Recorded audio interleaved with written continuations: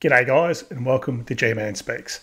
Today, I'm going to touch on a topic that a few people have asked me about, and that is dating a foreign women in foreign countries. So, today, I'm going to talk you through um, a bit of a horror story this gentleman is sharing. He runs his own channel called Buzz in Pattaya. He seems to be the expert on these things, guys. I haven't done that. I haven't gone and dated women in foreign countries, so I'm not an authority on that. But I'm going to make some comment um, on this guy's story because he goes into a lot of detail. So enjoy. Hey guys, how we doing? Welcome to another chat show here on the channel and uh, to today's video. Uh, okay, so a few days ago I made a video about the perils of getting involved in girls and what to expect and how it can go wrong and all those kind of things. And the comments that I got back were really, really interesting because a lot, as you know, I read every comment and some were saying, "Oh, you guys are just dumbasses. You're stupid. If you get involved with the girls, you're asking for trouble." And you know, I'm not going to disagree with you. I really am not. And as I'm going to share with you today, Yeah. but it, But yeah, I'm not saying they're dumbasses and stupid, but you're walking into it right because I think my view is if you're going over to a foreign country, especially where there's um, you know, a, a strong history of middle age to more elderly people from developed countries going there to meet younger women, you're setting yourself up as an absolute mark. And these these chicks over there, you know, you think the women over here are bad. You think the women over here uh, size you up. Um, you know, and they might do that from a natural perspective that is built into them. These chicks in the other countries, that's their livelihood. Like that's what they have to do to survive. Um, and so you're putting yourself in the firing line, especially going to Pattaya and places like that. Some places in the Philippines, and it's all the same, right? Bali, getting on with these chicks, and then getting absolutely fucked over. Chicks from the Ukraine. I've seen stories about that. You know, so you guys tell me what sort of nationalities you want me to touch on. I reckon I can play find some horror stories for you guys that we can talk through. But this is going to happen, so you need to keep your eyes open no matter where you go. A lot of guys, um, the passport bros thing, um, I can understand why guys want to do that, but I think they are a bit, little bit naive in, in what they might be expecting in all cases because I think there's just as much chance of them getting wiped out over there as what they are over here, or someone really doing them over. Um, that's my opinion right? I've heard about things happening to to guys who have done that, so it's not just a, a horror story. So yeah, let's just listen to this guy. I won't I won't bat in that much. it's very, very easy to say it. And it's very hard to do it. And I'm going to explain my story. And the reason I'm going to do this, I've had quite a few people say to me, Trev, you know, you had a really catastrophe, a catastrophic, catastrophic uh, relationship when you first came out here. Would I share the, the actual real story rather than just glossing over it? And I thought, well, okay, let's do it. I've got I've got nothing to hide. I'm not worried about it. So, a bit of background information for you first. I've been through a messy divorce. I'd had two years bumbling around in the UK. Uh, financially, I was sound. I had a good business. Everything was all in place. I had no real worries. But uh, but inside, I was eating myself up. I was surrounded by her family because I lived in the same area, and you know things were just not really good for me. So I decided, as you know, I already suffer with depression. So I decided to start doing a bit of traveling and get myself away from the from the area. And I came to Thailand, and against popular belief, I actually had no idea about the girl scene here. I generally didn't. I came to Thailand because I love Sure, spicy food and obviously Thai food. I love the heat, obviously the Thailand's temperatures, and I just wanted to go to a big city. So I went to Bangkok. I left a big city to go to a big city. It made perfect sense to me, and that's that's what I've always done. You know, I've been to New York and all the big cities. I, that's my thing. Anyway, I came over here and I had a fantastic time. I really did, and, and I've, I've shared that with you about how I found uh, Koh Samui, then I found Pattaya, and it was like, oh wow, never understood any of this was here. But nevertheless, that's a different story. But I went back home and I thought, you know what, this this country has really got under my skin. This country is a, is somewhere I know I could live, and I'll be very very happy. So I put measures in place. I spoke to my young children and I said, look, you know, dad wants to, to do some things for himself. And they were all like, no problem, dad, you know, you do what you got to do kind of thing. And I made the choice to come out. Now, I didn't just get up and come out. I did have a job to come to. So I was quite lucky. So I moved over here.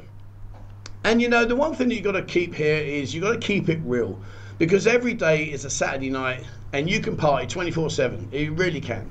And of course, you know, you're surrounded by beautiful women. And yes, a majority of the girls here in the city are working girls, but there's still an element of non working girls. Um, but, you know, Yeah, and, I, and I've heard of that. I've heard of guys getting over there, meeting um, you know, women from, you know, middle class families have good jobs, corporate jobs over there. But what I've also heard is they're quite racist. They stay to their own.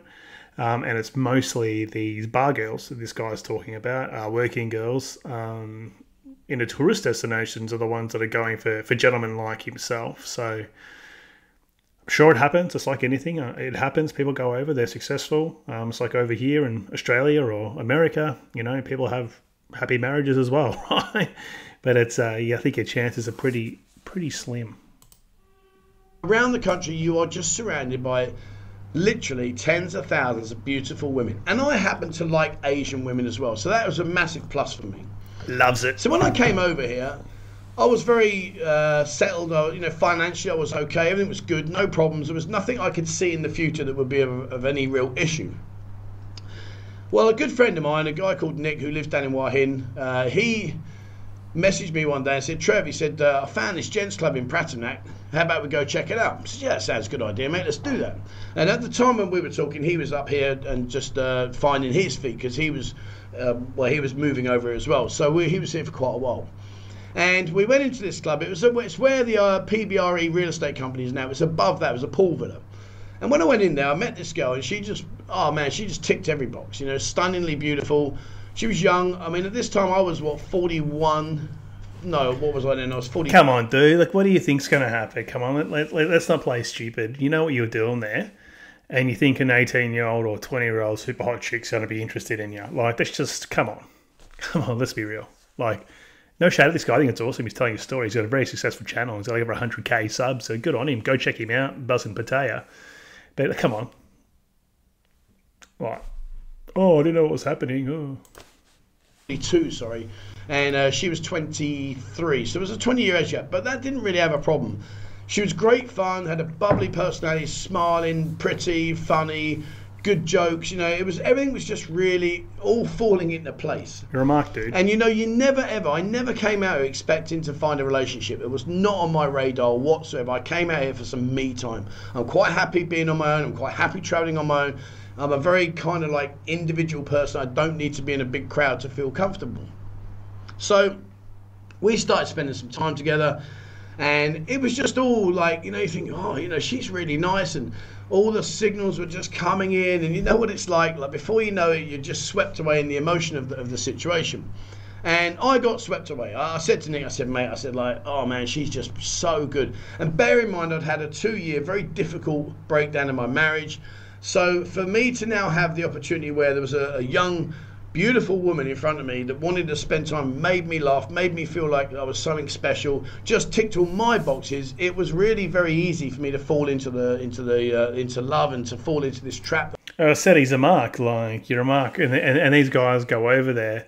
That's why guys, oh yeah, I'm going to go over here. I'm going to go to Philippines and find myself a traditional wife who's going to stay in there. Yeah, mate, you're, you're paying for it, dude. So whether you pay for it here or you pay for it there, um, you might get some more feminine treatment over there, sure but you think you're just going to be in magical fairy tale land over there. This is my opinion, guys. You can, you know, you can challenge me in the comments.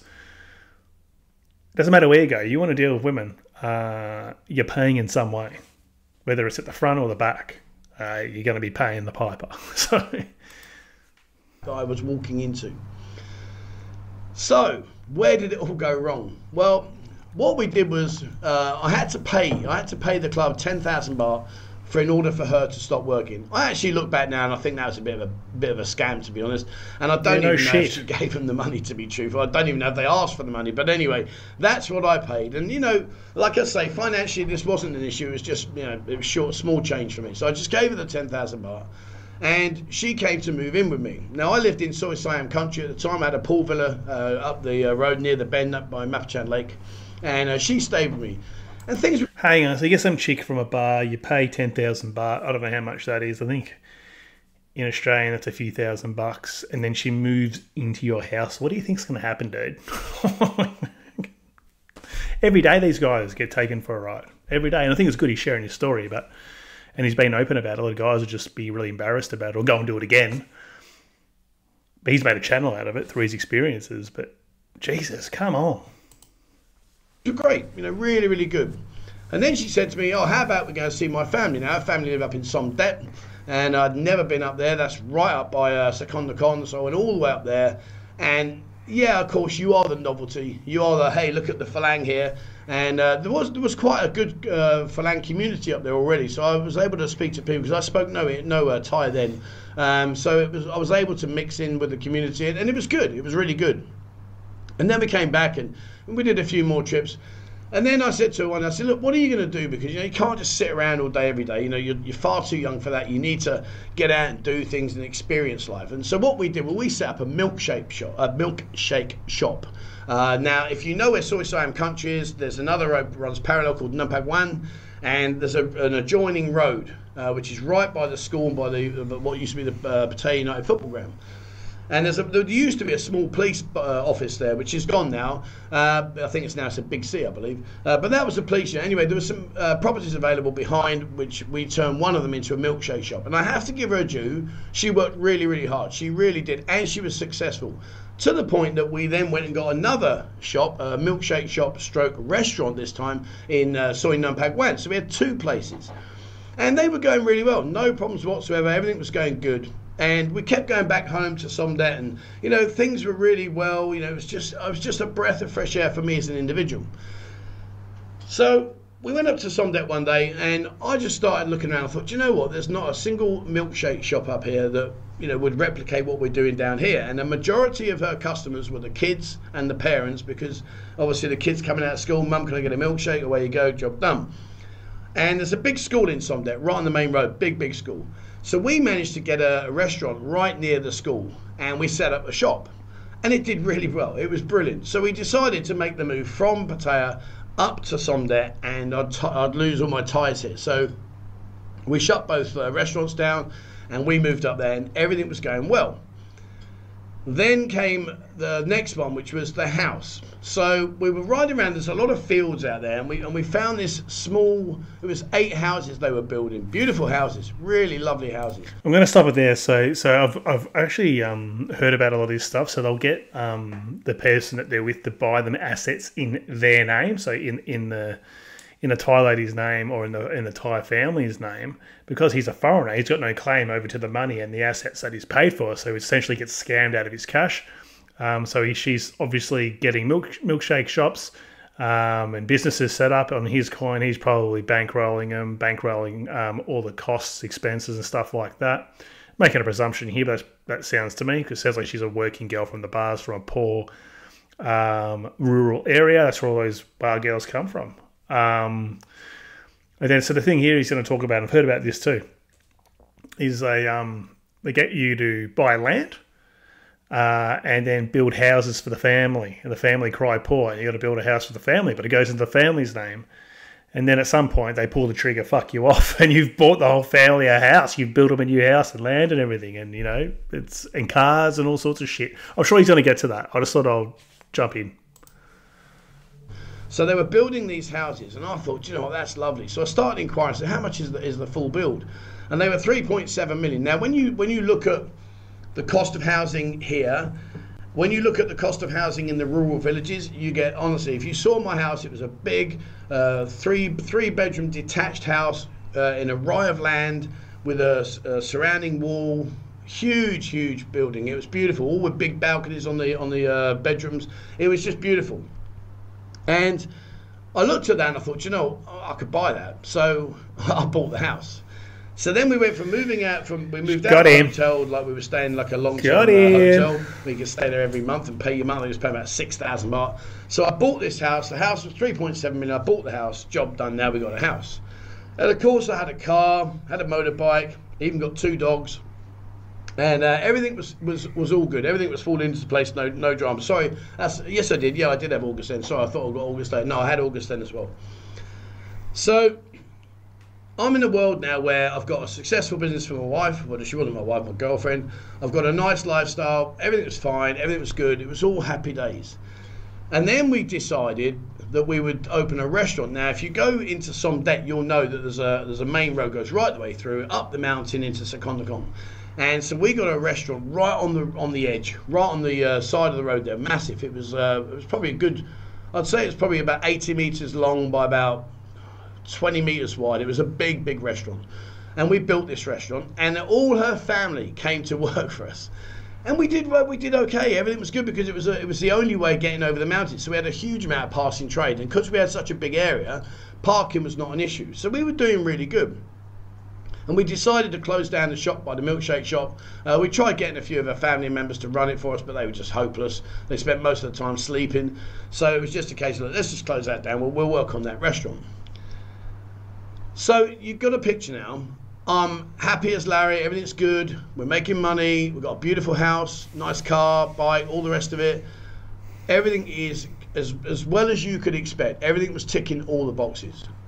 All right, guys, I'm just going to stop him there because it sounds like he's going to get the rug pull. So, so before we get halfway through, uh, we are halfway through. So please uh, sub to the channel if you haven't subbed already. Aiming to get 7k subscribers. Uh, if you do want to support the channel, watch the vi- uh, videos through to the end, guys. It really helps me out. The watch time. Um, I never try and sell you anything, so just the watch time is very, very much valued. If you do want to support the channel further, check out the Patreon in the link and uh, pinned comment is in the um, video description as well. Cheers. And then suddenly it started changing. And over a period of time, like activity in the bedroom was getting less, and it wasn't my doing. Uh, she was becoming more moody, more grumpy, and things were like really not progressing very well. And I couldn't understand it because we had a we had a fantastic life. You know, from where she's come from to what she had was incredible. But it seemed, or it certainly appeared at the time, it just wasn't working. It wasn't right. And this carried on for a while now. And I got to a stage where I thought, you know what, this isn't good. And I tried to talk to her, and anybody that's been in a Thai relationship will, will understand when I say about the silent treatment. You speak to them and they just won't talk. They just will not talk. And then when they don't talk, they just go quiet. And it's like mind blowing. It really is. It's just like, my God, will you please just tell me what's wrong? And I couldn't get nothing out of her. Really couldn't get nothing out of her. So basically, psychological abuse, man. It doesn't matter where you're from. If uh, they're going to switch off, that's what happens. So this guy is giving up everything. He's got everything locked in: restaurants, houses, cars, all that sort of stuff. He's looked after the family, given them all jobs. Now she's going, cool, milked you for what you're worth, and I'm shutting shop. Great. So we then got to a situation where I thought, well, do you know what? I can't handle it. So I came back here. I came down here for a couple of weeks, gave us some space, went back up there, and again, you know, it just just didn't improve. So in the end, I thought, right, I've had enough now. I'm going to move out. So I said, to, do you know what? I've, I'm done now. I can't take this. I said, I'm going to go back. I said, I'll work in Pattaya, and uh, I, I just can't be doing it. I said, it really isn't working for me. And she didn't bat an eyelid. She just didn't bat an eyelid, which I thought was quite weird because I was kind of hoping, I was hoping, if I'm being honest, that she said, oh no, don't go, like, you know, we'll sort things out. But that didn't happen. Nah, dude, you're the mark. She wanted you gone. She extracted money. Golden Goose has given up the eggs. Don't need you no more, buddy. Set you free. And then what what uh, happened was I packed all my bag. Well, I packed a day bag because I was always travelling backwards and forwards here because remember I'm a photographer here. So I'd come down, do two weeks photography, go home two weeks, come down two weeks photography, go home two, and it was working perfectly. And I just thought, no, I'm, I've done now. So I said to her, right, I'm off. So I got my bag. And I was walking out the door and I thought, you know what? She hasn't even said, like, don't go, didn't even say goodbye. And I, and I did. I got upset and angry about it. And I said, you know what? I said, I've given you this, blah, blah, blah, blah, blah. And you haven't got even the decency to say, don't go or, you know, goodbye. Nothing. I said, is that really how it is? And she got quite emotional. And I said, I said, why are you crying? She said, oh, it doesn't matter. I said, well, no, it does matter. I want to know, like, why are you crying? You know, you're the one that's, shutting this down. And now you're suddenly like, you're upset. What's that about? And she said, well, if you must know, I've got cancer. Now, as you can imagine, when you drop a bombshell like that, it blew me apart. Even more so because what had also happened, and she was very aware of this, was that I lost a very, very dear friend, uh, very, very, very, very dear friend, and um, I lost him, and and it hurt. It hurt. hurts even now talking about it. And she used that as a as a as a final blow, could you call it? To the point where I, I was just mortified, and I said, look. Have you had treatment? You know what's going on? Can I can I take you to the hospital? You know, please, you know, let's sort this out. And bear in mind, I spoke very, very little Thai, so I couldn't understand hardly anything. And we, I took her to some very, I took her to hospital in. Uh, oh, where did we go? We went to Thani, we went to Khon Kaen, uh, we went to Specialist Hospital, and, and every time I had to sit outside while she went inside. Fucking just playing him, dude. That is ruthless. That is cold. Like she knew that, and then she's used that to pull a heartstring to get more out of the guy. Far out. And I was to this day, I never ever knew what, what they even spoke about, to be honest with you, because it turned out, in the end, in the long run, it turned out that she was lying. She didn't even have cancer. And it was her sister that told me. Her sister was really, it was funny with her sister. Her sister was like, me and her had a love hate relationship, and I don't know why. Uh, she had a really nice Falang boyfriend, he was a great guy, and I, I assume they're still together to this day, I don't know. But it was her that told me. She said, Look, Trevor, she said, I know we don't get on, but I'm going to tell you now she's lying to you. And I was like, what do you mean she's lying? She said, no, she's lying. She hasn't got cancer. And I was like, are you kidding me? Like, seriously? Like, having been through what I've been through to then take me through what we're going through now and to then tell me that that's a lie. And that was that. That was the final straw. That was it. So I confronted her. She didn't really admit it, but she said, oh, I think I'm better now. And I was just like, do you know what? We're And so, of course, she's now in this situation where I've got house, land, car, motorbike, dogs, royally fucked. That's where you are. Jesus Christ, man. It's like they, they get these guys, they play the heartstrings, they know how to play the game. They're they're trained by their grandmothers and mothers and stuff how to do this shit. So guys, you're asking me, should I go over there and meet women? Sure, try and be careful, but you just don't know what you're getting, right? Because you're a mark, you're a target. You think you're going to go over there, you're a normal middle aged guy here, you're not doing very well with the ladies. All of a sudden, you're over there, you get all this attention, what you think you're Tom Cruise over there it's like no, they they know what they're looking for. They know what they're going to do, and you're a target. So I know it sounds negative and cynical, but this guy is literally telling you. I've watched heaps of videos like this. Heard about guys getting ripped off, and I'm sure it happens, guys. You can strike you can strike gold over there as well, but I think you're more likely to get screwed over hard. I've got everything. You know, we furnished it, beautiful furnishings, and I just walked away because when you start these situations, when you start these relationships, you know, the land is never mine anyway. The house is on her land, if you want to look at it like See? that way. So again, you're pretty much powerless. The car was in her name uh, because we, I bought it, I paid for it, she put it in her name. And I know, I look back now, I think, oh, why'd you do that? But you know, it's sometimes we just do it because we want an easy life. Yeah, just put it in your name, so it doesn't matter. You're not going anywhere, are you? Let's be honest. It's not like you're going to tell me you got cancer when you haven't and try and mug me off. You'd never do that to me, would you? Yeah. So it's very similar to what guys do here. Like like I've been through it as well. Like you got assets or you got money and you're worried about it, but you don't want to rock the boat and ask for a prenup or ask for a finding a financial agreement before you go in a BFA, because hey, you're getting married or you're moving in together, right? Like what's going to go wrong? They're not going anywhere. They're with you. They're your girl. You just don't think. You wouldn't even think. You don't want to think those things would happen to you. So you can see where he's coming from. Now you can start to see where everything started to fall into place. And I came back here, I, I moved back here, and it was very difficult because I was gutted, if I'm being honest. Not more so about the fact that, that our relationship had gone pear shaped, but more about the, the, the, cancer side of it. That to me was evil. Yeah. And because of that situation, no matter how much had we have even thought about getting back together again, I would never have done it and you know she lied to me and used some very vile uh, ways to lie, things to lie about with the cancer, knowing how much it had upset me with the loss of my friend. And that was it, really. That was where we were. And I lost everything. I lost the house, the car. In the end, she wrote the car off. She went. Up, we had a big university in Somdet, and she and uh, her younger sister, her younger sister was at university. They went up there one night partying, and uh, she decided, in her wisdom, to drive home drunk and uh, T-boned a tree. Thankfully, might have been a might have been a favour if she didn't make it through by sounding the kind of person that she is, and I don't say those words lightly. Horrible human being who is absolutely tortured and ripped off a guy in his most vulnerable time. Like this guy's hurting. This guy even telling it after the fact. This is this story's hurting. like it's shocking. Guys, don't forget this shit. This is trauma. The tree was okay and thankfully she was hurt. I mean, sorry, I shouldn't have said that. That's terrible. No, but you know what I'm saying. But no, she rode the car, absolutely towed the car. So that wasn't a good setup. Uh, the restaurant that was on the mountainside uh, eventually went tits up. I believe her family. Uh, her dad was a bit of an alcoholic. he liked to drink. He used to he used to sit in his truck and just drink himself into a stupor and fall asleep, and then wake up and then drive home. Uh, but yeah, so uh, that that all went pear shaped. Last I heard, she was down in Phuket, and from what I was told, uh, she had a, a, new boyfriend, and you know, good luck to you, sir. I hope you do better than I did. And the irony of it is, is I actually before I made this video, I actually googled um, my old house, and it's still there. It's still there. And uh, I don't know how recent the, the photo is, but obviously it's, I've been here six years now, so it's, it's fairly recent. But uh, yeah, it's still there.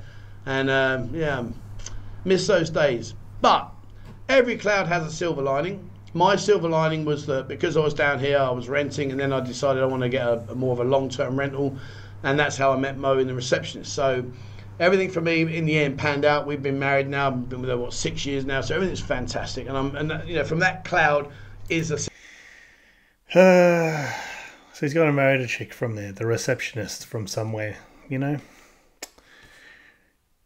Hopefully it works out for him. Six years, it's a decent stint. I'm sure she's going to chew him up and spit him out. She probably would have done it by now, but you know, this guy went through that. So he's gone through a divorce.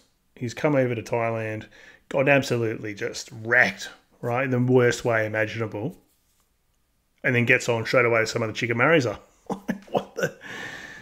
Oh good on him. He's an honest guy, and I wish him all well with his channel. But oh, let's see what happens at the end of this story, guys. I've got a few minutes to go. Silver lining, but by sharing this story, I don't want any sympathy. I don't want any uh, any cruel uh, uh, remarks. I just wanted to be honest with you and just say, look, you know, I don't think people actually come out here looking to get uh, to fall in love. I think that's where we get it a bit wrong. I came out with no intention whatsoever of finding a girlfriend, absolutely zero. But at the end of the day, it doesn't matter who you are. You've all got feelings. You all think things, and we all want to be loved. You know, it's it's not difficult.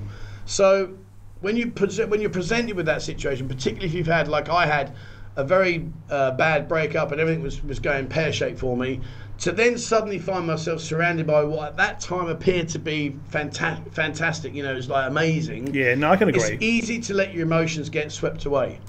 I agree. Like I, uh, I talk about this guy all the time, and I might have put him in my my. Um, I did put him in my True Stories video. His name's Larry. Good old Larry. He's not his real name. He's a really close friend of mine.